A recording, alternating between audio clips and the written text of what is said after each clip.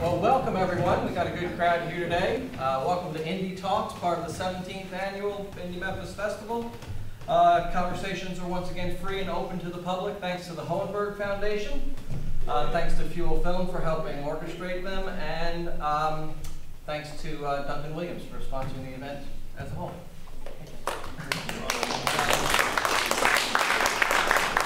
So turn your phone on vibrate. Don't turn it off because we encourage you to tweet and Facebook and contact everybody and tell them what a great thing this is. Um, hashtag Indie Memphis as you do. And um, it's my pleasure to introduce one of the guys who brought you Phineas and Ferb, SpongeBob SquarePants, and uh, now Adventure Time. Adventure Time. I'll let you tell you more about it. Kent Osborne.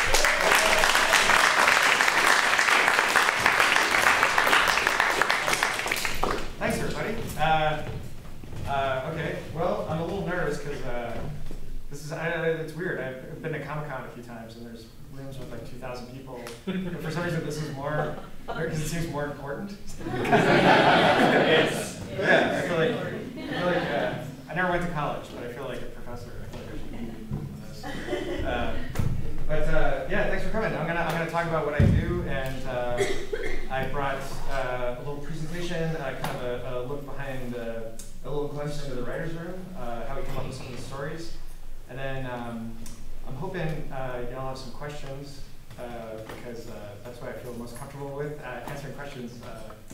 But yeah, I just want to start. Uh, it's weird, you know, you introduced me as the person who brought and Ferb, which is a cute. It's it's so it's so misleading. Yeah, yeah. I, but it's a common question when people hear that I worked on SpongeBob and they're like, "Oh, you created it," and I'm like, "No, no, no, absolutely. You know, I did. As, you know, someone else created it, uh, but I, and I'm one of the many people that work on it. So we should get that out of the way. Uh, not to take anything away from how impressed you are with me being here. but uh, there's so many people that work on these shows, and I'm just uh, one of many people.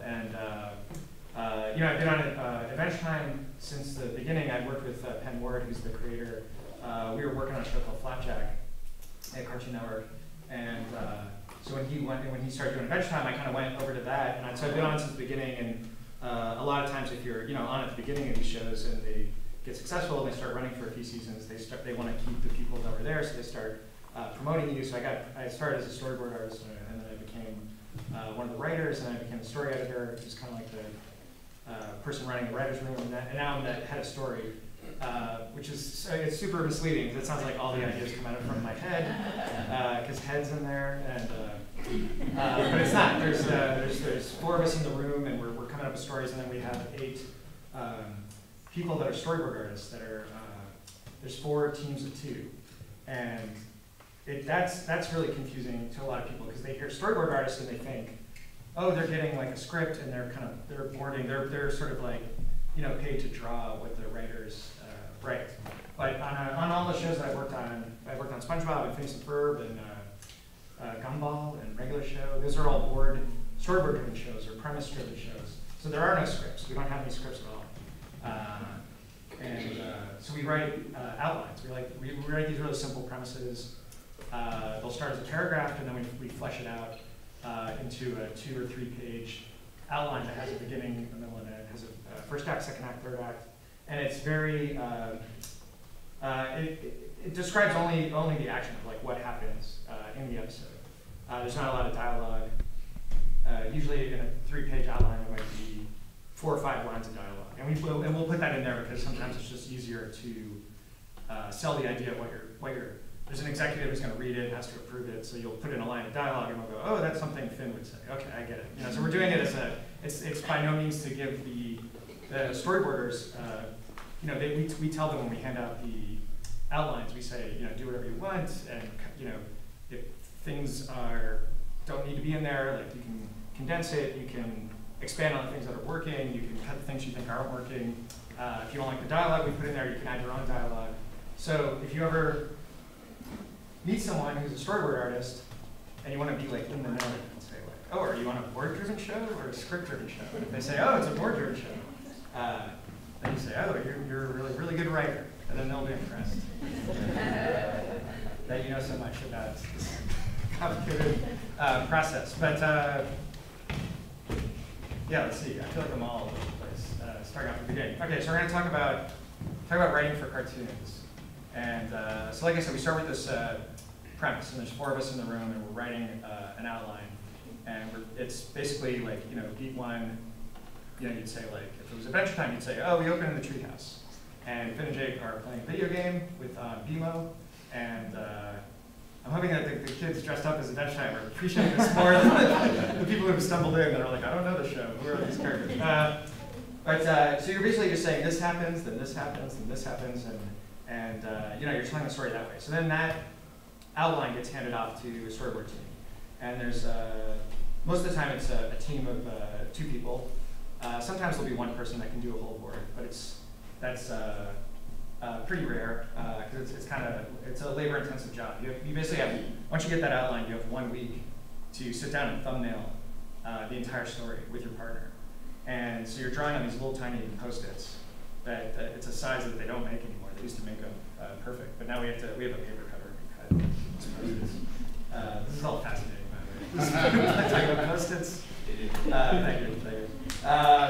So basically, they have one week to thumbnail. They, they look at that outline and they have to they have to figure out uh, not only the dialogue and what everyone's saying, uh, and but they have to uh, figure out the camera moves and they have to figure out the composition of each shot and where it's going to take place. And, and a lot of times the outlines, uh, because we're, we're under this schedule, we're trying to crank out these outlines like one per week. You know, sometimes the outlines are not as good as they should be, so you have to look at it and go, this isn't working. And uh, so they do they do a lot of work, and they only have one week, and then they will uh, will have a storyboard pitch in the uh, in the main you know the conference room, and all the writers come, and uh, they'll they'll pitch it, and sometimes it's not in good shape, sometimes it's in great shape.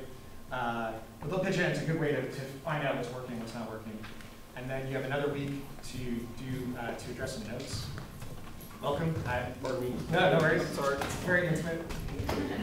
I can start over from the beginning. okay, we have these post-its. They don't make them anymore.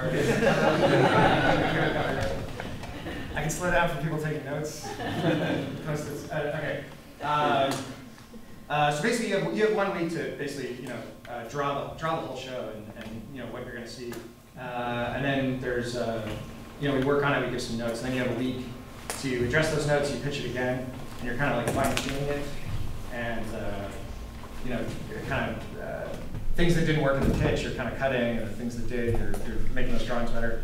and then you have two weeks to clean it up.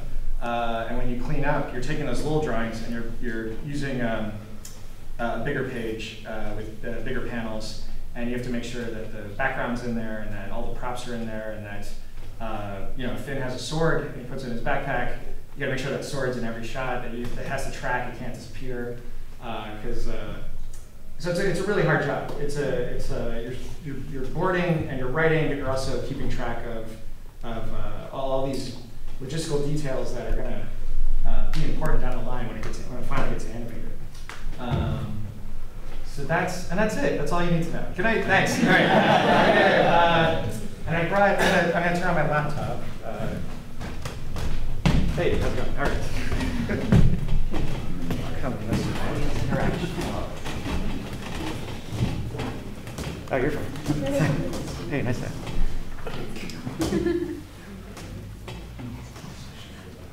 Okay. Uh, so the, the, uh, the words here are really important, but uh, thanks. My assistant. um, so if you can't, you can't read the words, it's not that big a deal because. Okay. um, hey. hey, all right. uh, so this, uh, you know, we're like season seven right now, so we've written 211 minute episodes of, of Adventure Time, which is a lot um, for a show that's, we're, you know, we're always trying to be uh, original and not, you know, kind of repeat the same episode, you know, themes and stuff like that. But um, so sometimes we get together with all the writers and all the storyboarders and we play these writing games uh, where I'll explain the game really briefly. These are just like examples of things that I've turned into episodes that I thought would be interesting. But uh, so basically, what we play this game where we all sit around a table, and one person will do a drawing. You have like a minute to do a drawing. You can do about anything. and then you pass it to the left, and then the person who gets it looks at the drawing and has a minute to write uh, act one. And the idea is not to like think too hard, you're just trying to like get it all out. It's a, it's a good writing exercise. And then you have a minute to do act two, and you have a minute to do act three, and then we, we get together and read them out. We try to make each other laugh. And I'd say if we do a hundred of these, maybe one, if we're lucky, like one will actually turn into an episode. So I brought some of the ones that uh, eventually turned into episodes. This was an episode called Puhoy. I'm looking at the kids. uh, that's the one where Finn goes into the pillow world, and so that, that whole episode, uh, it's one of my favorite episodes. But it just started with this like simple drawing. It's just uh, Pat McHale did this drawing. He was the creative director on the show for the first uh, four seasons. And he actually has a show on Cartoon Network called Over the Garden Wall. It's like a mini series that's coming out. Uh, I think this week. It, it airs this week. And it's it's beautiful. Anyways, so he did this drawing, and it turned into uh, Puhoy. And then this is a drawing that uh, turned into One Last Job. This is it's actually a pen, pen drawing. But there's uh, Joe Jr. saying I'm in trouble, I need money. uh, and this, if you're familiar with the show, we kind of always planted the seeds that Jake had sort of a nefarious past where he maybe uh, stole things and you didn't know was them, uh, which makes us all laugh. Uh, just the idea that Jake was like a some sort of uh, noble burglar uh, in his past. This is a drawing that turned into uh, Red Starved, which was the episode where uh, Marceline uh, doesn't have anything red to eat, and she's gonna eat Jake. uh, yeah, it's just such a simple, like, that image of Jake as a drill, like, just sort of got us all thinking, and, and, and it, I don't know, sometimes it's really hard to come up with an episode idea, and then uh, sometimes it's super easy. But. Uh, this uh, turned into Rattleballs, which I don't know if anyone saw that episode. Uh, Rainn Wilson did the voice of Rattleballs, who was sort of a uh, uh, he was kind of a, a mysterious uh, Candy Kingdom uh, warrior that was designed as a robot, but they're too, they were a little too, uh, they, they, they disobeyed Princess Bubblegum, so she destroyed them all. This is the last one. Uh, and he, Finn discovers that he's actually not good at sword fighting. He thought he was, just because he has a lot of, he's got a lot of like, you know, teenage boy uh, motivation, but he's not very good at sword fighting. Uh, and then this was a drawing done by Tom Herpich that turned into uh, an episode that's going to air uh, at the end of the month. I think Thanksgiving. It's called Jake the Brick. Uh, it's really good. For those who don't know, Jake is a shape, he can shape shift, so uh, that's why he was a drill before. And then he's a brick. And we did a whole episode where he's a brick, and it it's not very. Uh, and then I think, oh yeah, okay. So we have some.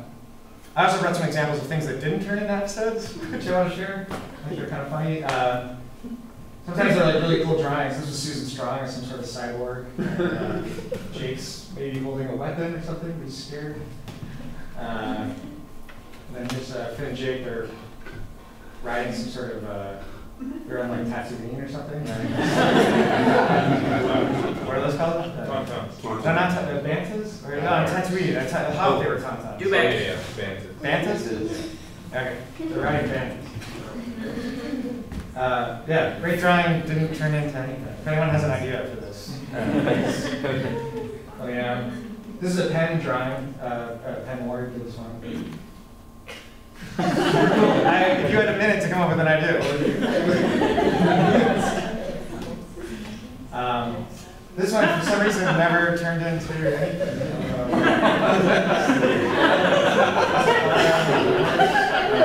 So Marceline Turner? I, she seems to be enjoying it. Uh, yeah. Uh, this is when LSP has legs like the Little Mermaid.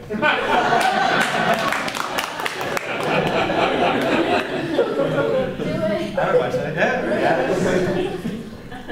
Tragic Um, ending. Sometimes they're a little too dark.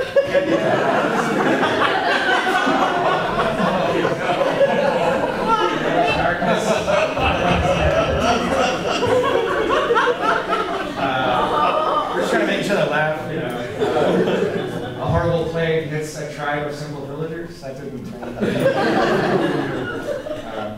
Finn makes a new friend. His name is Ralupo. that was kind of creepy. Uh, I do that.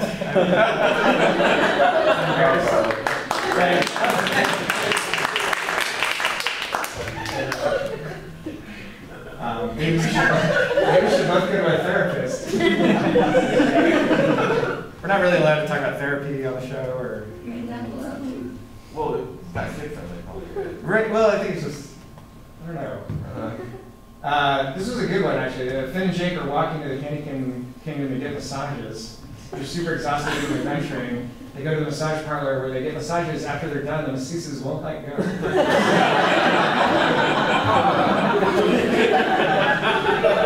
yeah, that we, I think we could probably turn this. Um, Oh, right, uh, right before Finn is about to give a big speech to the Candy Kingdom, the naked wizard turns him nude. They wouldn't let us do that. Uh, oh, the Turd Lords are back. That's the last one. Uh, that did not turn into an The Turd Lords are back. All right. Uh, I think that's it. I guess I'll leave that up. I'd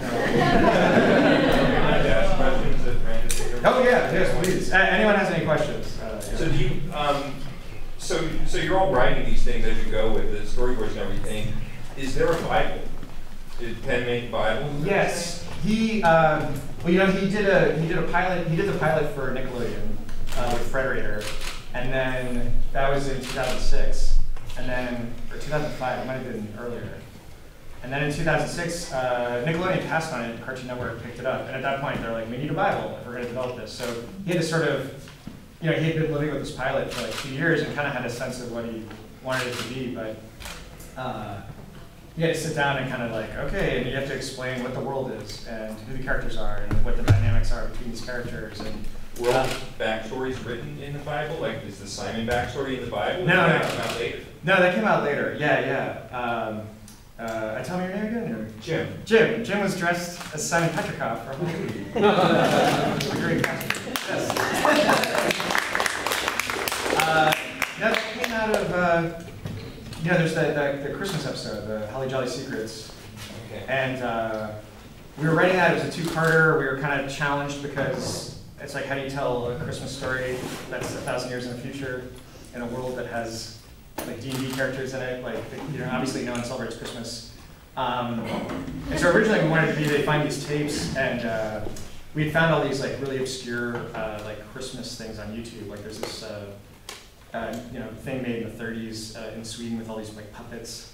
And uh, so originally we wanted to have all this like we wanted to do like Mystery Science Theater, and uh, they, they find these tapes, and the whole you know the majority of the show would be them watching these weird uh, Christmas things. Yeah, and then they're commenting on it and making jokes and like Mystery Science Theater. So we like wrote all that out, and uh, one of them was like a, a it was like a 1980s uh, like public access like computer uh, program that uh, Pat McHale found, where they're talking about like Christmas games and stuff, and. Uh, so we wrote it all out, and then it just wasn't, it didn't feel right, and then we sort of were talking about it more, and actually Pat McHale came up with the whole idea that like, okay, well maybe on one of these tapes is something Ice King doesn't want to see, uh, what doesn't want people to see, and uh, we started uh, talking about his backstory then, and it was sort of, I don't know if we could have planned it out at the beginning. I think it, it came because we'd been doing it for two seasons, and we had, you know, hinted at these this idea that he had gone crazy at one point, this uh, crown was maybe having something to do with it. So it kind of came about uh, organically, which a lot of the a lot of the ideas, I think, uh, especially with, with Ice King and Marceline, uh, the whole Simon and Marcy episode where uh, uh, I remember. I remember Yeah, that came out because we realized we put in an episode we put uh, Ice King singing the Marceline to the Fry song. He's like wearing a wig and singing like the Fry song. And I think someone said, someone, a fan pointed out, oh, Ice King and Marceline have never been in an episode together. And we were like, oh no, like why, why does it, and then we sort of like, okay, well why, maybe, maybe there's a reason why they haven't been together. And, and maybe there's a, a reason that they're, they're staying apart on purpose or something. So it, it, it sort of like organically uh, evolved into that story. And we thought, oh, Marceline's been alive for a thousand years, and maybe, and, you know, Simon's been around for a thousand years, so maybe they, maybe something happened early on. And uh, so that's how that, that whole story came out. But I, you know, Well, that was some of the most powerful television I've ever seen. oh, thanks. I, yeah. I, I'll say thank you for everyone who worked on it. And, uh, yeah, I, uh, I agree. I really liked it a lot. Uh, yeah, the, the episode where we show their backstory and, and uh, he's singing the Cheers theme. Was such a weird moment too because we never really we, you know, we we referenced uh, like Mozart and Beethoven I think up to that point, but we never had ref- referenced anything like like specifically like pop culture. Uh, and then we were in the first uh, storyboard pitch, the kind of first like thumbnail pitch, and we were the, the TV joke was in there. Uh, Cole uh, uh, had put this joke in there where he goes on the TV and he's like pretending to be on TV, and I, I think I jokingly said, "Oh, he should sing like the song from Cheers," and Pen was like, "Yeah, sure." And I was like, "What? No, wait, that's what you can't." But then you know, Pen says it's okay. You know, he's the creator, so. Uh, but then Tom Kenny, who does the voice of Ice King, didn't know the song. He never watched TV, so he didn't know the song from Cheers. So we had to like find it on that And uh, and he was like, oh, I think I have it. And then if you listen to it, it's it's a little off, like, uh, which makes sense, yeah, because it's, it's you know future and you know maybe you forgot a little bit. But yeah, it's I'd say uh, there was really no backstory at all in the beginning. Um, I don't even think Pen specifically knew that it was a thousand years in the future uh, until uh, who did all the backgrounds. He's an artist. This guy, uh, Dan James, uh, aka Ghost did all the backgrounds uh, art in the first season, uh, and kind of, you know, designed uh, what, what the world looks like, what all the trees and rocks, and he would put, uh, you know, these like uh, buried police cars in the ground, and just put all this like stuff in the background to sort of like plant these seeds that this was actually, you know, Earth, like these like Statue of Liberty kind of moments. Uh, yeah. Any other questions? Yes. Um, I wanted to do the musical score for cartoons. What kind of skill set do the producers look for? Are they looking for any specific things? Uh, The person who does the musical. That's a good question. Uh, well, you know, Storyboard, you don't do the music, but you could give some idea. yeah, I mean, I think, I think Pen knew the, the guys who do, um, there's, there's two guys who do all the music, uh, they, and they, he kind of liked their style. He- They had kind of like a, you know, eight-bit video game, kind of simple musical style. So he, he knew them ahead of time when he started making the show. So I think, uh, I, I, but I wouldn't know, I don't know, I don't, I wouldn't know how to pursue it. I would say just get to know animators and maybe try and ask, you know, see if they, uh, uh, need help with their projects, like that, because a lot of times people maybe don't know someone. Um, but yeah, I don't know if there's a, uh, I don't know if there's like advice or a tip that I can give you. Uh, Just wondering if there's any specific skill set different from regular films. I'm not, you know, I don't, Just applies. I think, it- I think it all depends on the, on the, the project and, and what they want, what the person who's making it wants, like what kind of feel and, yeah. Just start heckling the back with, with Yeah. music tunes.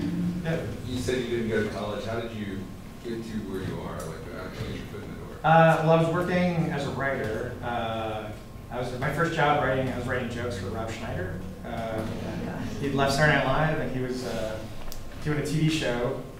And I think he had, I think he was flush with cash, so he was he was hiring a lot of people. But he hired me to sort of write a screenplay with him, and then I, I started writing jokes for him because he, he would do uh, you know Conan or talk shows like that. And he just I think he just wanted someone following him around with a notepad. that was his bit. Sorry. Uh, but I'd follow him around. I did that for like two years, and I was writing jokes. And then uh, I, I hosted a show on TBS uh, called the Movie Lounge, which I don't know if you know Dinner and a Movie, uh, which is everyone knows that. And then there was also a Movie Lounge, which nobody knows. Oh, yeah, okay. It was on Saturday night, so we'd play we play uh, uh, movies, and then we you know we, so I was like writing stuff for that. Uh, it was me and a puppet. We were the hosts of the show. that Nobody watched. Uh, it wasn't really a show. We uh, we made the experience of watching a movie on television worse because we added time in between the commercials, uh, and so. I think we got like six fan letters, and they were all negative. They were like, "Why? Who are these idiots talking during Sudden Impact?" Uh, uh, and I was doing that. Oh, and then uh, so I got hired. My first job was on uh, SpongeBob, and uh, my brother Mark Osborne is uh, he had gone to animation school, so I knew some people that worked on SpongeBob through him. Uh, he, my brother uh, co-directed Kung Fu Panda, uh, and uh, he's a, he's like a stop motion guy. He went to CalArts for uh, experimental animation and did a lot of stop motion. And then, uh, yeah, made Kung Fu Panda. But, uh, but before that, I, he was part of this really talented class. Uh, people from like Pixar were in this class, and uh, SpongeBob and uh, Powerpuff Girls and Shrek. It was cr crazy uh, Samurai Jack and. So yeah, if you want to get a job, you you should have a brother that goes to animation school. It's a bunch of really talented people. Uh, yeah, I got hired on SpongeBob. Uh, they were looking for a writer, and uh, uh, Steve Hillenburg, who's the creator, had seen a movie that I did, so he brought me in to interview. And I actually didn't. I interviewed for season two, and I didn't get it. I didn't know anything about writing for for cartoons. And one of the things said, uh, on this test, you know, come up with original ideas. We don't we don't want to see another roller skating episode. And I was like, yes. The old roller skating episode. I had no idea. I was like, should I not mention any sports, or is it just roller skating?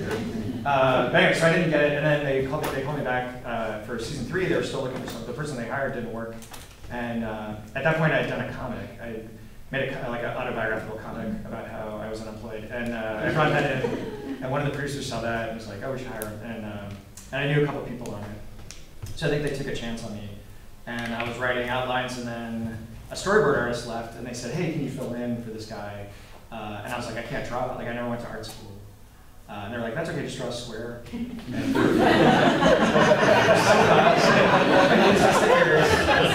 I'm not joking. They're like, "And for, for Patrick, draw a triangle." Just draw shapes. And uh, I was like, all right. And I spent like one day trying to draw SpongeBob in the kitchen, and I was trying to draw all the pots and pans behind him, and I was like, I was looking at pots and pans on the internet and trying to, and they were like, no, no, no, don't do, just draw a square. And like, there's people that'll clean it up, so. uh, so I, yeah, but I, I, I think uh, because I could draw good expressions and uh, and I, you know, I, I had done a comic, so I, I had like timing, I knew stuff like that. So yeah, I would do I would do boards, and they would get cleaned up by people that could actually draw. Uh, but I've been doing it for 15 years, so I've actually become a better drawer. So uh, actually clean up my own drawings sometimes if I have time. Um, but uh, yeah, so uh, I guess behind you and then. Uh, so tell me a little bit more about the, the pitch process. Is sort of a straight, like, third-person storytelling? You guys ever act parts out? A little bit. It's kind of like us an impression. Yeah, it's it's, it's kind of it's weird. You uh, you know you watch like a Pixar movie and they have like the behind the they those like one of the bonus features is like you get to see a pitch, and the guys are always like. Uh, I don't even know. I did, and then the plane comes out of the barn. No, you know they're like acting it out, and we don't really. I think I, don't- I maybe that is how it goes, but with our pitches we don't. It's not that. It's not that. Uh, not. It's not that much showmanship. I guess the reason, reason I is that so much of this is surrealist, and the humor is in the tone of voice and in the way the characters react to one another. You know, is Yeah. that stuff that comes out in the acting? I mean, how much of that originates? If you were to put a lot of this stuff just down here where it's an outline, it would make no freaking sense and you wouldn't laugh. Where does that part come into it? Uh, I, guess, well, I mean, the pitch is there and, the, and all the boarders are in there, and so they're, they're sort of familiar with the story, but they're not, they maybe haven't read the handout, or, you know, it's only the team that's working on it knows what the story is. Uh, But it's basically for, uh, our showrunner is like timing it, he'll time the pitch to see, hey, this is too long, this is, you know, it's too short. Um 'cause cause sometimes the page count doesn't, we try to shoot for, like, uh, on a thumbnail, we try to shoot for like hundred pages, and sometimes it'll be hundred pages, but it's like super long, cause like, there's a lot of dialogue. but uh, but mostly, yeah, I think it's just to, you want to hear it out loud, and even when you're working with a board partner, uh, you kind of pitch to each other. We have we have cork board in our offices, so we'll like we'll pitch up sections and or, or we'll pin up sections, and then we'll pitch to each other. And it's just a, it's a way to kind of hear it sounds, and because when it's not working, you know right away. You're like, oh god, this is no one's laughing. So your pitch is like an eleven minute, like, acting out of what's going on. This happens, and he says Yeah, this, and this happens. it takes a little longer too. 'cause You're describing things. Just say, okay, here's the, you know, we start in the treehouse and uh, we see, uh, you know, Finn and Jake, and they're sleeping, and the sun's coming up, and you know, we cut to uh, BMO, BMO runs in, jumps in on Jake, and says, "Wake up, wake up!" And so we we're trying to do the voices, just, uh, but uh, but yeah, you're, you're you're just pitching it out, uh, just to see how it sounds, see if it's working, and make sure that, the story's there and stuff like that. And after we pitch it, all the writers leave, and usually the storyboard supervisor will stay in the room, and uh, the showrunner, uh, Adam Muto, and and we'll go over it and like kind of note it up and, and change things and make sure. Uh, there's a lot of technical stuff too. You're trying to you know make sure that's in there. You don't want characters. Uh, you know, Finn exits the treehouse and goes left. You don't want to cut to a shot of him walking right. You know, left to right. Stuff like that, like kind of basic. Um, and yeah, we try to try to do the voices and stuff like that, and try and uh, sell it, you know. But uh, but it's not a lot of. Uh, we- we're not like jumping around and throwing confetti and stuff. Yeah, yeah. But I, I see some of those those behind the scenes stuff, and I'm like, and they've actually they've shot it for Adventure Time. They'll come in and they'll say, hey, we just want to get footage of someone pitching, and they'll pitch up the uh, they'll pin up the large panel pages instead of the, like we never pitch large panel pages, and they'll pitch up they'll pin up half the board. Which is, and they'll have the whole crew come in. So it's, it's very, it's not realistic. It's not like uh, those behind the scene things are staged. You heard it here. It's a big exclusive story from Indie Memphis. yeah. The uh, two sort of technical questions. From you said you do 200 episodes a season to try to get down to a certain number of episodes that you want. So, Oh no, we've done 200. We've done 200 total. oh, you did 200 total. Uh, excuse me, Sorry, yeah, 211 minutes. Yeah. So from so from start from from conception to finish, how long does it take to generally finish an episode, and how many per season do you all? How many do you spit out before you actually decide how many you're going to to cut whittle it down to? Well, we'll get in order. Uh, I think first season was 26, 11 minutes. Okay. Um, and so then we have a, you know, there's a there's a line producer that you know, her job is to figure out the budget and the, the schedule, uh, which is a little tricky because, uh, you know, you have like holidays and stuff like that. And usually we'll get holidays off, but then they don't change the schedule. Like we'll come back from Christmas and they'll be like, the, the schedule hasn't changed, so you have to kind of make up all that work, uh, which everyone you complain to, uh, not to complain. we like, you know, we tell our boss, and they're like, I know, I know, great Christmas off. And we like tell the union, and the union's like, no. the show must go on, American show business. And, uh, like, no, I just want to enjoy Christmas. um, but uh, but it takes uh, it takes about nine months from when we start writing an episode to when it's delivered to the network. Wow. Uh, so yeah, like a baby. Nine months. But a lot of people work on it. It's So all it's not- animated here, right? What's that? Is it, all the animation happens in the States too? Uh, no, uh, we actually use two uh, studios over in Korea, uh, which I'm pretty sure a lot. Uh, uh, Simpsons is Korea and SpongeBob, and um, but a lot of studios are in either Canada or Taiwan or Korea. Um, yeah, there's not a lot of there's a lot there's a Flash going. Uh, there's a lot of Flash animation going on in the states, but uh, yeah, Disney and DreamWorks and all that. That's all done um, over, overseas because it's cheaper. Uh, yes. Um, so you guys have been running for several seasons now, and I noticed in the beginning, uh, you know, everything was pretty much a standalone episode, but you sort of accumulated more and more mythology as it goes on. Uh, is this something that you, and, and this is a challenging thing for, for TV shows, when they sort of, they start to, to, to suffer from the weight of their own mythology. Is this something that you guys have given thought to? Do you, do you try to, to like, you know, try to keep it fresh and bounce it out, or do you, or do you, you guys more thinking about like, well, we got this mythology, let's just dive into it? Uh, yeah, no, I think it's coming uh, sort of uh, organically. Uh, um, yeah, we're not planning it out too much, but you know, we all go, we, we're all uh, we go to each other's pitches, and you know, you'll go back to your office, and you're like, oh god, uh, you know, Jesse Nako did a really cool thing in that episode. I really, you know, it's that's in your head, and then you're you're kind of you're, you're uh, that's affecting you. Um, it's happening very slowly over, you know, because like I said, it takes nine months. So you'll work on an episode, and then you will kind of forget about it, and then you watch it nine months later, and and that'll give you ideas. You're like, oh yeah, we should revisit that. So a lot of times, the, some of the stuff that we'll set up, like with uh, Ice King or something, or Marceline with their backstory. Uh, you know, we won't we won't we'll stop thinking about it for like a year, and then when we finally watch the episode, we're, we're like, oh, we should really we should do more with that. We should, but we're, we're never trying to force it or, or shoehorn anything in. Um, yeah, Adam Muto is very, uh, he's our showrunner. I don't know if anyone read the Rolling Stone interview where they made it sound like Pen was dragged from the building in a straitjacket, but he's, he stepped down as running the show and uh, just because he'd done five seasons and, uh, and now Adam's running the show. But uh, Adam's really good about it. He doesn't want to just have, you know, Darth, Darth Vader boss built. C-3PO. He doesn't like that, that Darth Vader built C-3PO. Yeah, yeah. That is kind of cheating, or, you know, the, the universe is bigger than that, so. Um, but, uh, yeah, it, it happens very, very slowly and, and uh, organically. I keep saying organically. Hey, Um, you said earlier that you guys don't run off of a script, so I was very curious to know, like, the, the process that you guys use to kind of firm up the dialogue, to like finalize it before it gets filmed? Yeah, the, the dialogue's all done in the, in the board process, basically. Um, uh, if I showed you an outline, you would, it would be hard to find some dialogue in there.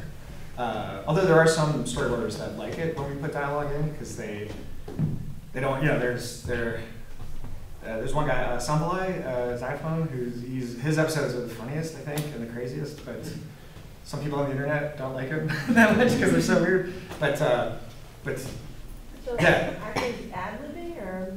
no, no, no. It'll all be it'll be all the dialogue will be in the storyboard, um, and that's that's part of the pit when we're pitching it out. You know, that's it's all done, and then uh, we have uh, a writer's assistant who takes those boards and like types it up. So he'll type up a script for the for the actors. So by the time the actors come in, we've already uh, we've got a cleaned up board, and it's we're already preparing it for animation.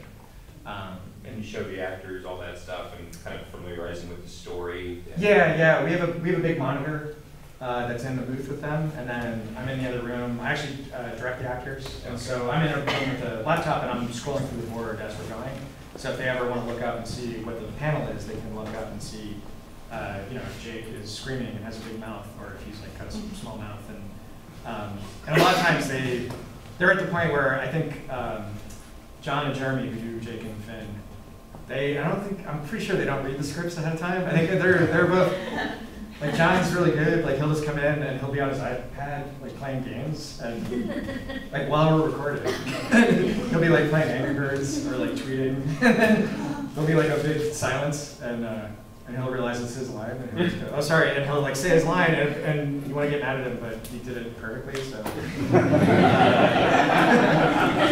Uh, Do you find that you lean on the voice actor's enunciation of the lines a lot, or do you direct like, so say like on that first uh, shot that we came in on, like, Yeah. the, it was the hardest sword rain of all time, right? Yeah.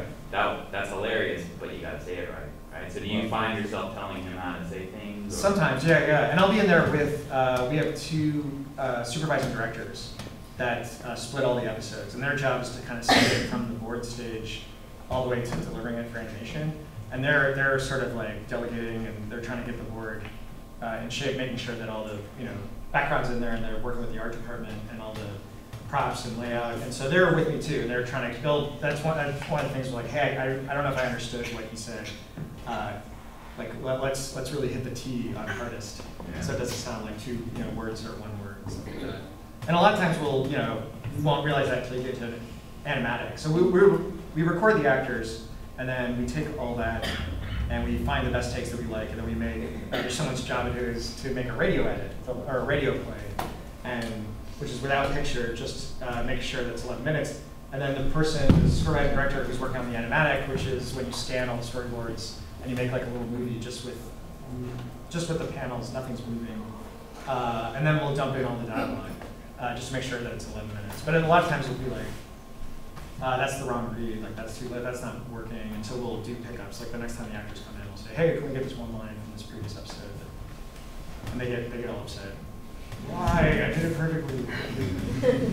yes. Are, are the keyframes fixed in Korea, or do you, they don't have any guesswork at all in Korea? The keyframes are, uh, well, there, there are directors over in Korea that will, uh, will go over there and meet with them and come, like on trips, they'll come to visit us. And so uh, it's usually a little rough in the beginning. And so there's very detailed uh, tiny sheets that get sent over with the boards. So all the keyframes will be in there. Uh, and then the, the timing will be there. If, if Finn is answering the phone, uh, that, they'll, that, that'll be in there, like how quickly his hand goes to his head. Uh, and then the, the start pose and the end pose will be in there. And then there's a, got this crazy sheet that just has all these little numbers and it looks like the Matrix. And uh, that gets sent over there. And in the beginning, there's lots of retakes and um, sometimes Jake will be talking, but Finn will be moving his mouth. And, uh, and sometimes there'll be really weird poses that don't, don't work. And so, but I think as we go on and they get to know the show more and more, like it, those uh, retakes get less and less. Uh, yeah. Uh, okay, that's a good question. That was kind of ties into what you were saying. I didn't answer. The, so because the show takes nine months uh, each episode, so we have to uh, the, the schedule kind of uh, goes diagonally across the board, so, uh, on a, you know, Monday we'll hand out one episode that'll be starting, and then we'll also see a pitch from an episode that got handed out two weeks ago. And then on Tuesday, we'll do a record from an episode that got handed out, you know, two months ago. And then we'll also have a, a, a breakdown, which is where all the art department and the creative director get together and, and, uh, you know, plan everything for animation. And that'll be for a show that was handed out three months ago. So it's a, you're always, there's a, there's a sliding, uh, rotation. So that's why you have four storyboard teams. Uh, and they'll get, you know, they have four weeks, so they'll get a handout, and by by the time they're done with those four weeks, there'll be three other shows that were handed out and boarded. And then they just get, another- you know, as soon as you finish one, which is, it's crazy, it's so hard, because you're trying to draw, and you're trying to write, and you want it to be great, and, you know, you'll, you'll, you'll, you'll kill yourself, and you work all weekend, and you'll, you'll turn it in Monday morning, and then you get a new episode, and you have to start over right again. Uh, But, yeah, so it's a little schizophrenic, especially if you're in a position where you're having to go from meeting to meeting, and you're like, what episode is this, and what, what are they doing this again, and, um, so it's, sometimes it gets a little difficult, uh, to keep track of everything, but. Yeah, oh, yeah, yeah, no, I'm not, compl- I'm trying to make you feel sorry for me. I, I, I get power from that, yeah, yeah. Uh, It's a- such a hard job. Uh, yes? Did you bring more images showing the development of the storyboards from the original pitch to the big? That would have been a great idea. I wish I did. Uh, uh, yeah, I'll, I, oh God, if you'll have me back again, uh, I'll, I'll do a, a better presentation. I realize I'm describing things and uh, it's hard to visualize, but um, yeah, that's good. It's a good idea. yeah. How many hands does a, I'll I'll make it quick. Yeah. How many hands does a a typical episode go through before it ends up on TV? Like, it seems like there are a lot of people that work on these, so roughly how many, I mean, you said there's four teams of storyboarders, so Yeah. how many, how many people touch it before it hits to us? Uh, you know? let's see, one episode will have uh, four, five, six, seven, eight, including the actors? Oh, I guess, well, no, well, maybe including the actors, but theoretically, yeah, I mean, because some people play multiple voices, so I guess. Yeah, yeah. But you have four writers, you have, then you would have a team of two storyboarders. Uh, you have the showrunner, the supervising director, and the, and the storyboard director. Uh, so how many is that? Seven, eight, Nine, thank you, okay. And then, uh, let's say, let's say five actors per episode, maybe, seven. Uh, so sixteen. Uh, and then you have, uh, let's see, the art department, you have an art director, uh, you have a prop designer, you have a layout, you have a background designer, uh, you have a colorist. Uh, there might be two colorists on a show, so that's getting up there to Yeah. twenty. Getting. Um, you know, and then, and then the, the, I'm not sure how many animators work on it. It gets sent to Korea at that point, but, and then there's also a production staff, just like PAs and coordinators, and they're all, you know, they're involved in that, at- in all those stages. Uh, so yeah, it's a lot. It takes, it takes a village to make a minute cartoon. Thanks. And then so what, back, sort of building on that question, what, once it goes to Korea, what is the actual animation process that they're, that they're using there? Uh, it's all hand-drawn. Uh, they're still doing it, like, uh, they, they'll work on computers, but it's still, you know, they're not, they're not working on uh, celluloid or, or using paints, but they'll, it's all hand-drawn on a computer and hand-colored and, uh, yeah, it looks, it looks great. I mean, I, there's some episodes of Adventure Time that looks like a Miyazaki movie, you know, it's just, Yeah. so they do a good job, but that's why I think we're using two studios, is because one studio couldn't handle all the work. Um, and yeah, our design team is overworked and uh, everyone's overworked. It's crazy. Except for me, I get to come to Memphis, drink beer, and eat barbecue. What's the budget per episode? The budget? You know, I, I don't know. I'm not sure. When I worked for Rob Schneider, uh, that show ended badly. It was a million dollars per episode. Wow. So, I don't know if that answers your question. I know.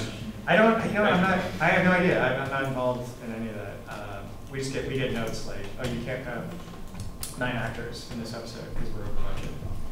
So we have to, we have to go in and go, okay, uh, let's see, Peppermint Butler is in this. Let's change, that's Steve Little's voice. Let's change, um, Hot Dog Princess to Turtle Princess because Steve Little can do Turtle Princess. So you have to do, so sometimes you're like, why is that character? in there?"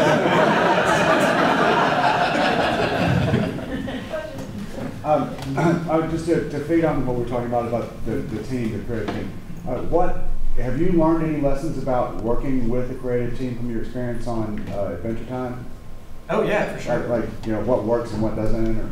Yeah, yeah. Well, I think Pen is, is very, Pen Ward, the creator, he's, uh, uh, I don't know, he's, he's taught me a lot about storytelling. I think I was, I was, you know, maybe getting into a rut. I was working on a lot of shows, going from show to show, and they were all like super good and successful and popular. Um, and I think I was, ahead in my mind, like, oh, there's, you know, there's three act structure, and it's got to be this, it's got to do, you know, these rules that you have to kind of stick to to have a, to have a successful show like that. But uh, I, I think he breaks the rules more than anyone I've worked with. But it's, it's still, it's you're not watching something experimental. Like it still has a beginning, middle, and end, and you still feel like you are satisfied when it ends. So uh, I, I think he, that's what I've learned the most from him. Uh, and just and uh, all the boarders too. Just I, I, you know, like I said uh, earlier, uh, I never went to art school or anything, but I, I draw some storyboards because I've been doing it for 15 years, and I've been working on all these shows with these like really talented uh, artists that uh, you know they'll, they'll it's, it's such a it's basically like going to school. Like I can go next door into someone's office and ask them about volume or perspective, and they'll say, "Oh, here, take these four books," and they'll like draw stuff out. I'm like, "How would you draw Jake looking up at the sky from this shot?" And they'll say, "Oh," and they sit there for a while. and They have to figure it out. You realize it doesn't come easy to anyone. You know, they have to sit there and kind of figure it out, and then they kind of do it, and you're like, oh, okay. So it's I'm you know, constantly learning uh, how to be a better draftsman. And uh, uh, someone told me too. They said they had taken a class, and the, the uh, professor had said, "Oh, take take your favorite movie, and and watch it, and pause it every time you see like a, a good shot that you like, and then just try and draw that shot, and that'll you know you do that enough, you'll you'll become uh, it will just become natural." When, you, when you're trying to compose a shot, you'll know where to put someone in the foreground someone in the background and how to make something interesting a lot of my episodes that I board, it's character, it's like South Park. Like Jake walks in and talks to Finn, and then they both walk out. It's all if someone else comes in, they have to like move out of the way. uh, yeah, yeah. So, yeah. I was gonna ask, um, if maybe comparing your trials working on Phineas and Ferb, which is very formulaic, Yeah. and working on the show, which is, there's no formula, there's a formula, but not that much of one, and the difficulties of working, like, do you prefer? I yeah, I, I mean, I, I worked on Phineas and Ferb for first season, and it- at that point, it was the first uh, board-driven show that Disney had done. They, they hadn't done one, uh, like I was talking about before, like script, script-driven versus board-driven. Uh, so they'd only done script-driven shows, and they were very nervous, I think, because Dan Povenmire, who worked on SpongeBob, uh, he was like, I want to do this board-driven, and they they were very nervous. So these outlines, you know, like I said before, these outlines are like two, three pages. We would get these 11 page outlines Mm. that were so detailed. And it was kind of like, it was an outline, in, a script in outline form. And so when you're recording it, you didn't have any like kind of freedom to kind of go off on a tangent or do something interesting or, or um, uh, but I think it works for that show. I mean, when that show started, I was like, he's not going to be able to sustain it. Like, you can't show the same thing every time. And uh, but somehow, he, d- I like, I still watch it and am entertained by it. And I'm impressed that they can keep doing the same.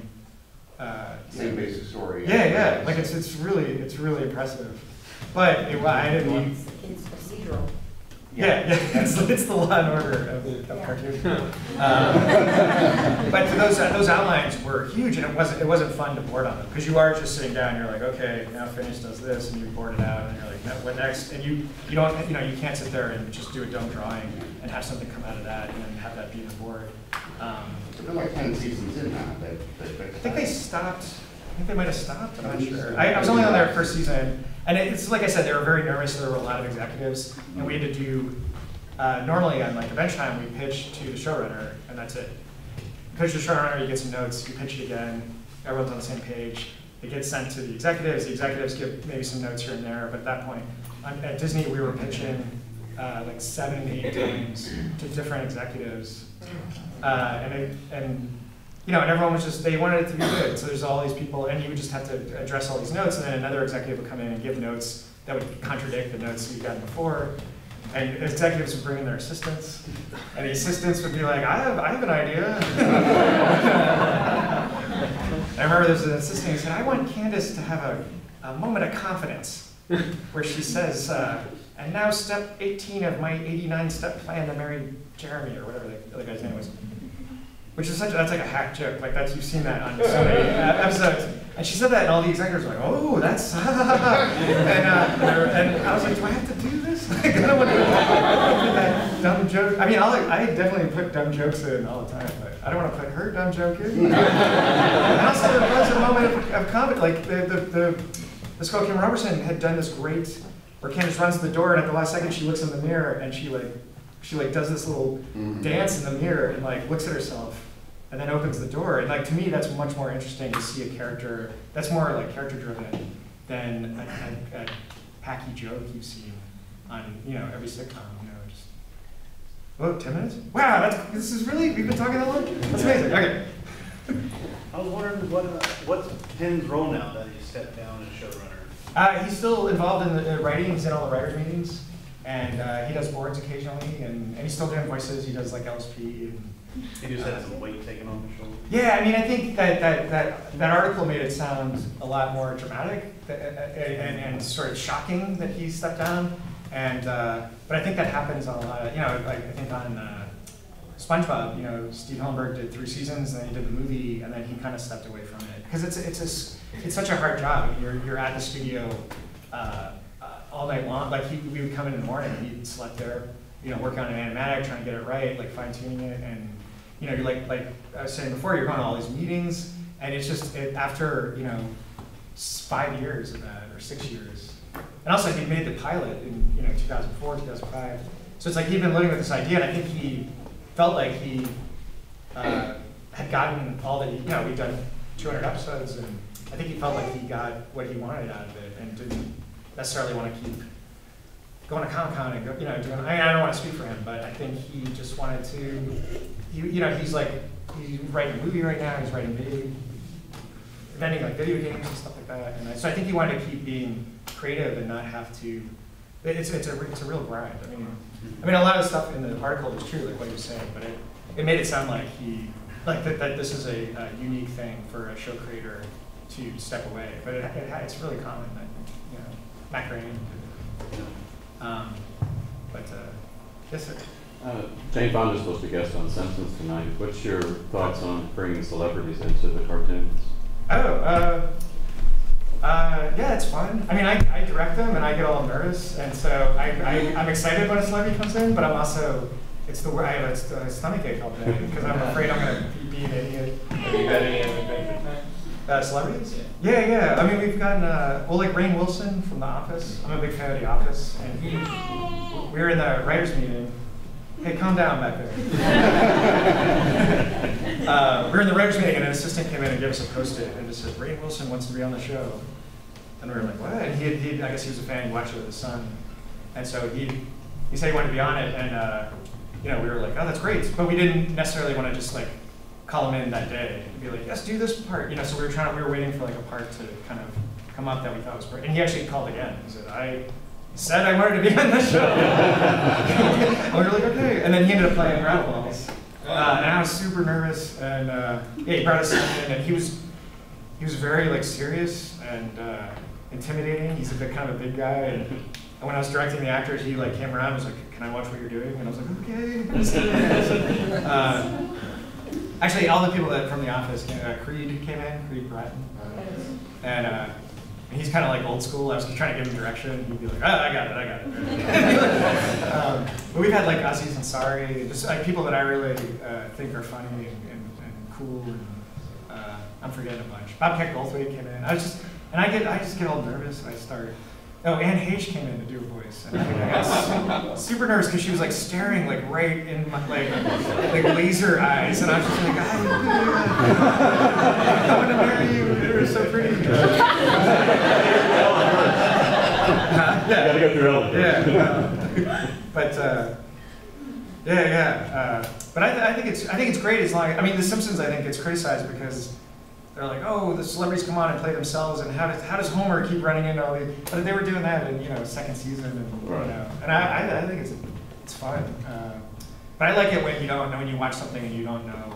Uh, I remember when I saw The Incredibles, and I didn't know who Mr. Carl, like I didn't know, I was like, I don't know whose voice that is. Like, and it's awesome. It's so great. So you're not distracted. And, uh, you know, like I saw that uh, Edge of Tomorrow, the Tom Cruise movie, and, which I thought was great. But I can't. Like, it's so hard to watch Tom Cruise and not be constantly thinking, "Hey, that's Tom Cruise." oh, there's Tom Cruise eating a banana.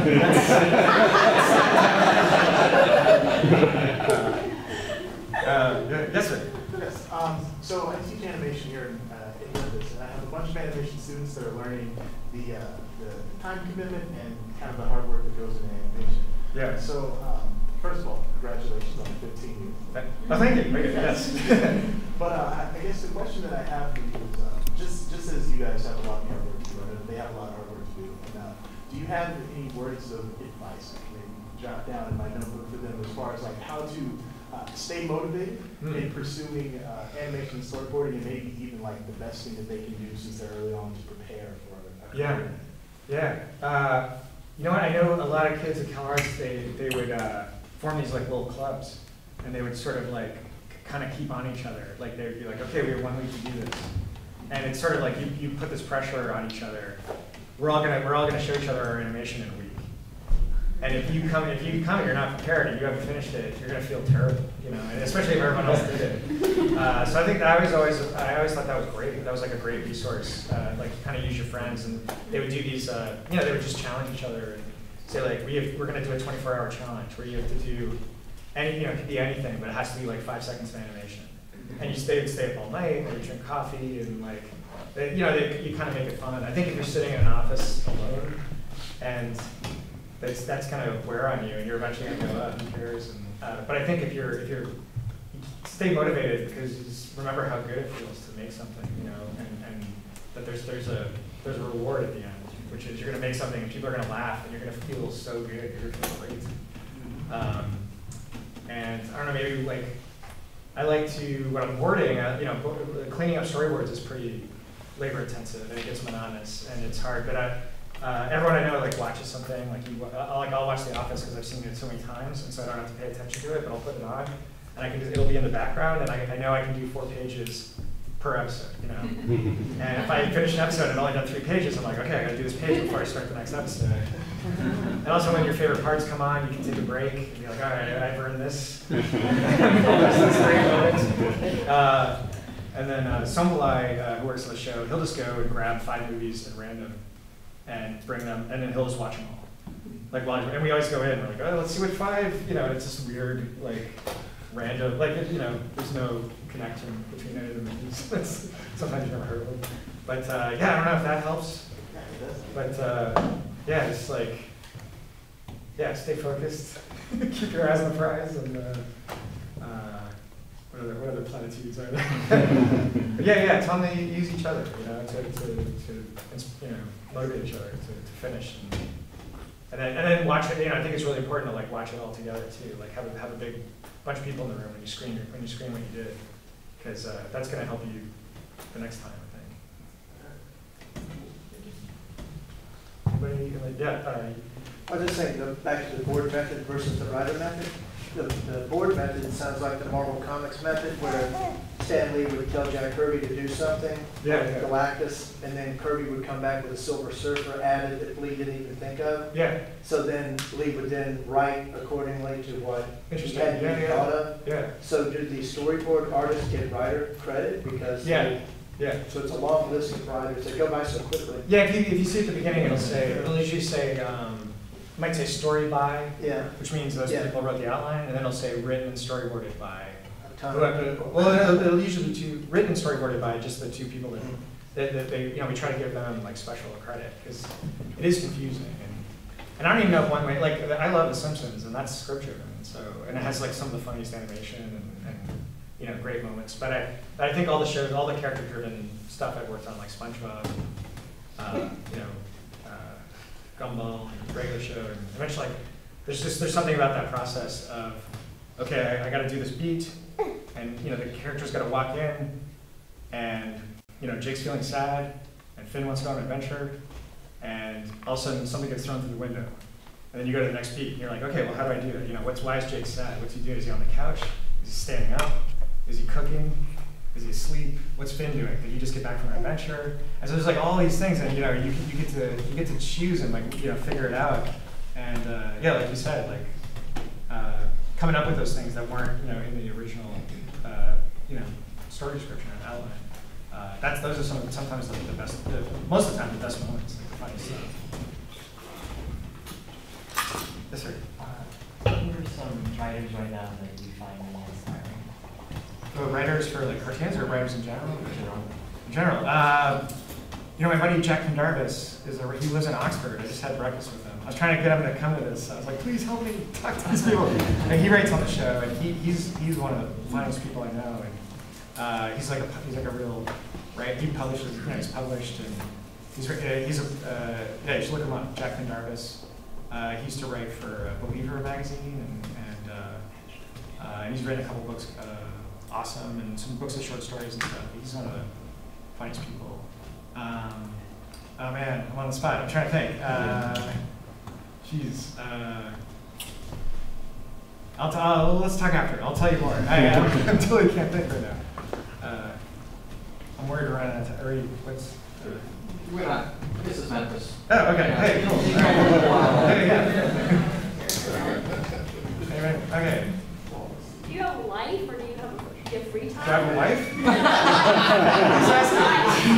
I do have a life. Yeah, yeah. Oh, no. She said wife. Yeah, yeah. Or what do you do Life to, or wife? like, you know, when you want to just get I, away from it? I like bowling. I go bowling. I'm in a bowling league.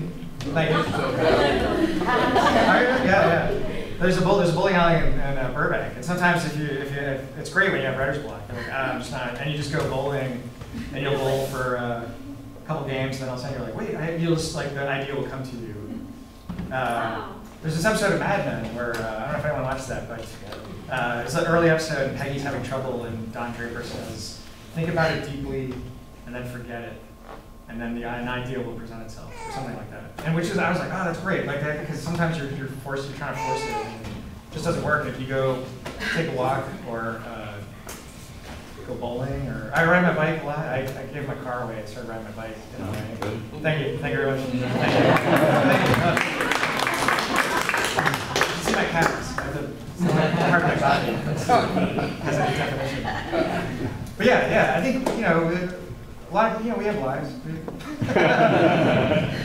but it, it's fun to work, it's fun to like the people that you work with, because we end up going out, you know, uh, together. And uh, Pen was really good. Uh, when we first started, he would uh, organize these drinking draws. We'd go to, you know, take over some bar, and everyone would go in and draw, and then bartenders would get, they'd be like, drink something. And we're like, no.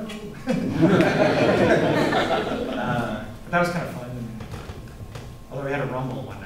There were a bunch of skateboarders, and it was like uh, animators versus skateboarders. Someone did a drawing of one of the skateboarders and held it up, and the skateboarder was like, "That doesn't look like me." And like, punched the guy. and then our guy got kicked out. And then they were making, they were like, "Take your pencils and go home." And I was like, "You're tattoos. Why are you making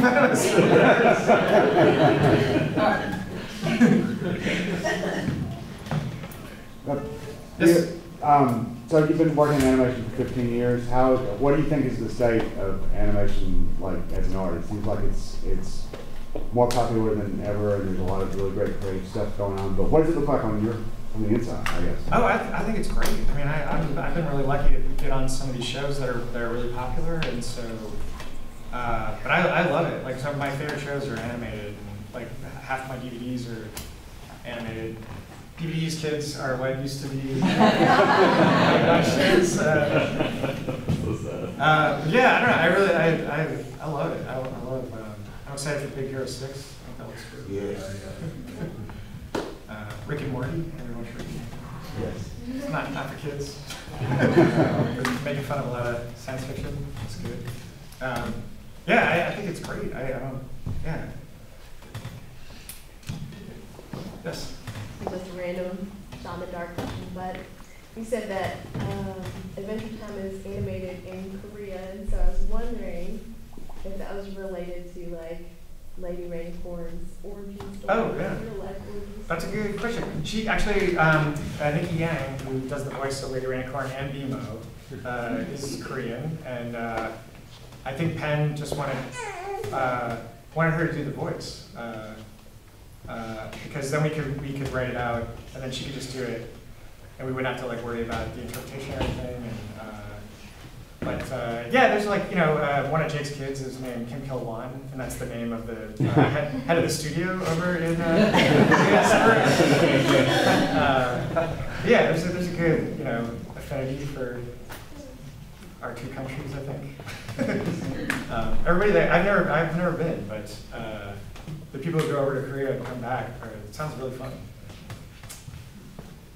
Yes. Um, I was wondering, how do the storyboard teams rotate? Like, is there a certain order, or do you just say like this team might be better for this episode? Yeah, that's a good question. Uh, sometimes we'll, we'll uh, if we're ahead on stories, we, we might have three or four in the, in the hopper. And we'll say, okay, we gotta, we gotta hand out to this team. And uh, sometimes we give them the choice. We say, hey, any of these stories jumping at you? And they'll say, oh, we wanna do this one. Uh, but sometimes we'll be like, oh, this is an Ice King story. And this, these, you know, Cole was really good with Ice King, so we'll give him that. And, um, and a lot of times we're, you know, we don't have a story and we have to do a handout next week. And so we'll, we'll go to their office and be like, hey, you want to come and talk to us? And they'll say like, what do you want to write about? And uh, uh, yeah, there's an episode coming up where we were like, uh, what do you want to write about? And uh, Somvilay said, chips. Like, chips. And we're like, okay. And we're like, anything else? He was like, ice cream. so the episode's called Chips and Ice Cream. and his partner Sue had drawn, she drew a picture of like a like a bunny with like two top hats on the ears and like two little heads. And she, just, she was like, I want to do this. And we were like, okay. and uh, it's a great episode. Uh, it's called Chips and Ice Cream. it has a bunny with two top hats. Uh, yeah. Clearly, your voice talent, besides Ken, you know, it's, there's these other celebrities and other people that you bring in. How do you guys cast your voice talent? Do you cast it from through agencies the way that most actors cast, or do you just find like people's voices? Do you find them? I mean, Yeah, sometimes, yeah, sometimes uh, have people we like. Um, Jesse Moynihan is one of our boarders, and he loves this guy, Duncan Trussell. Thanks for coming. Yeah, yeah, we're going over. Uh, thanks everybody for coming to this, by the way. Before I forget, yeah, there's like movies going on.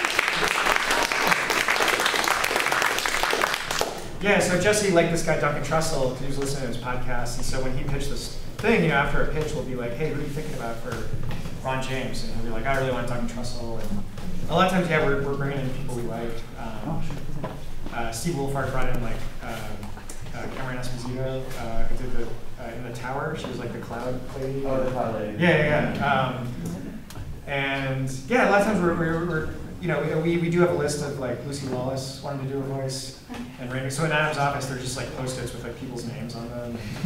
Uh, Pen really wanted Doc, uh, Jonathan Katz to do a voice because he's a big fan of Dr. Katz. So we like reached out to him. Um, one day we were trying to figure out, we were like, who's gonna play Banana Man? We gotta cast this like tomorrow. And I was, I was like, uh, you know, my brother made a, a video for Weird Al. So I have Weird Al's phone number. So I was like, I can call my personal friend Weird Al. And he like, yes. And I was like, oh no. It's and I called him and he was like, yeah, sure, I'll come in. and uh, yeah, he came in and was paying it. So a lot of time, and a lot of times when we're pitching, we'll, um, Tom Herpich uh, is one of our boarders, and his delivery is always so funny, and we're always trying to, I'm always trying to like, you know, you want to give the actors line readings, you know, but I, I want I want it to match the way he. So a lot of times we'll just have him. He does like Mr. Fox and uh, some other like small characters, and uh, uh, but and usually it's just because if you're pitching, if you ever want to get into voice acting, you should pitch a board and pitch have a character that only has one line, and then pitch it in a way that no one else can do it, and then they'll ask you to do the they'll ask you to do the voice because they don't want to hire someone. You know, you're already there. Does your brother, uh, ever request you over to work on features? Yeah, yeah, I had a line in Kung Fu Panda. I said, "Whoa, look at that." I was like, "Can I see what my character looks like?" He's like, "No, there's no character. It's Jack Black's looking through a hole and a, the head comes up and says, "Whoa, look at that." and I was like, "All right, can I see the back of my head? What that looks like?" and he's like, "No." And then I had to go in and I had to say, "Whoa, look at that!" like 70 times. Whoa, look at that. Whoa, look at that yeah, that was it. Threw me a bone. And my nephew was the voice of baby Tai Lung. Uh, and now he gets residual checks, and he's convinced that he's supporting the family. and then he'll be like, I want that toy. and they're like, I can't afford it. He's like, I buy it from you." uh, what voices do you do on Adventure? That's a great question. I do. let's see, I did hot dog knight number four. Uh, oh, I do Joshua, uh, Finn and Jake's dad. And he kind of talks like this, talks really fast. Lots of pooping. you just kissed a boom boom baby. and then I did uh, Bounce House Princess. Uh, she's like, hey, hey Finn, wanna come inside and bounce around a little? and that was my Bernadette Peters impression. I was trying to show everyone that I could imitate Bernadette Peters. Nobody knew who Bernadette Peters was, and then they looked, they looked her, and they were like, what are you talking about? Uh, and then I did the uh, voice of uh, uh, Wooby Woo, uh, which is just my own voice. Uh, but I got to work with Jonathan Katz, that was cool. Uh, and then yeah, lots of little incidents. I was like the demon, uh, the prison guard when they go to the Nightosphere. yes. Good question. Thank you. Thank you. Sorry yes, interrupt. yes. We need to set up for the next. Yes. Oh my God. Thank you, everybody.